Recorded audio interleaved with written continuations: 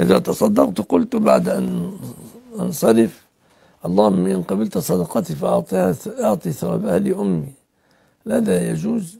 هو يجوز الصدقة الجارية من الابن لأمه تجوز لكن يكون في الأول. الله يبارك فيك.